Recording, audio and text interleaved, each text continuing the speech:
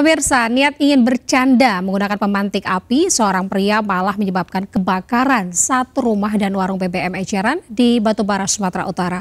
Pelaku yang sempat kabur ke Riau akhirnya ditangkap polisi.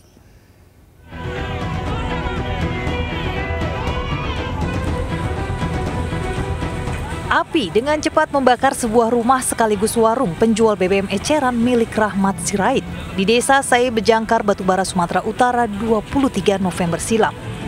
Ironisnya, penyebab kebakaran ini akibat pelaku bercanda dan bermain-main dengan pemantik api saat hendak menagih hutang di rumah korban.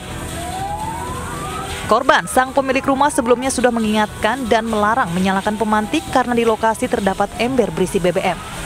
Namun larangan tak digubris, hingga kebakaran terjadi menghanguskan rumah dan kios serta seluruh isinya. Pemilik rumah pun mengalami luka bakar di kaki. Coba hidupkan mancis. Iya, Pak. Ya. Ternyata akibat dari hidupkan mancis ini tersamarlah bensin ini. Berakibat eh, korban terbakar. Ya. Kiosnya ya. Iya, Pak. Ini mana? Pelaku RFL sempat kabur usai kejadian dan berhasil tertangkap di Dalu-Dalu Riau. Tersangka dijerat pasal 187 KUHP tentang sengaja menimbulkan kebakaran dengan ancaman maksimal 12 tahun penjara.